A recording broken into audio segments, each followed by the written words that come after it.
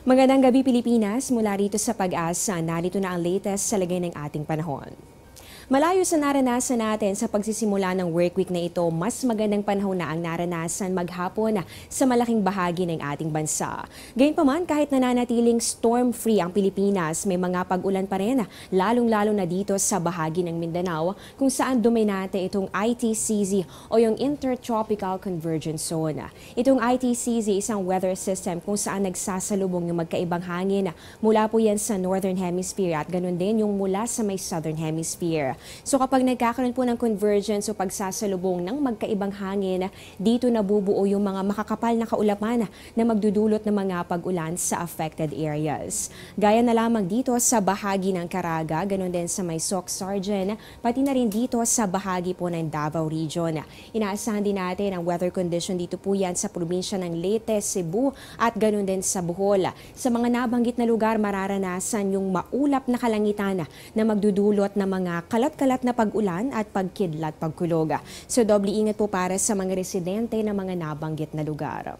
Dito naman sa atin sa Metro Manila at sa natitirang bahagi pa ng ating bansa, mararanasan ang bahagya hanggang sa maulap na kalangitan na meron lamang chances na mga pulupulong pag-ulan o pagkidlat pagkulog.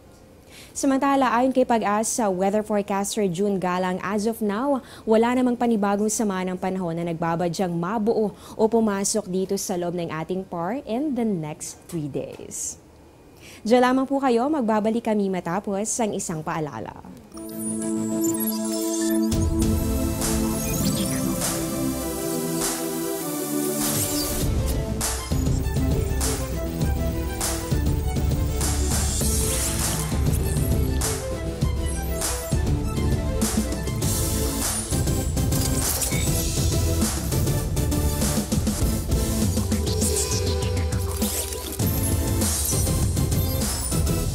Experience the most engaging Inquirer yet.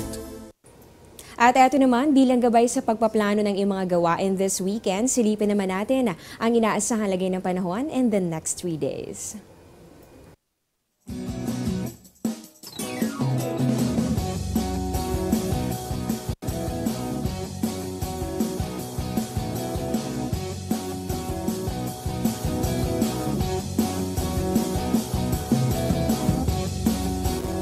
At yan ang latest mula rito sa Pag-asa. Ito ang Panahon TV kung saan walang pinipiling panahon ang pagbibigay impormasyon.